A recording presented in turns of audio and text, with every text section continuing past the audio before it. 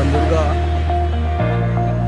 Canary walls यहाँ पे सब कुछ मिलता है हमारा। देखो हेलमेट कितना भरा पड़ा भैया भाई अमन भाई के साथ आए हम लोग। भाई आई वॉन्ट टू सब्सक्राइबर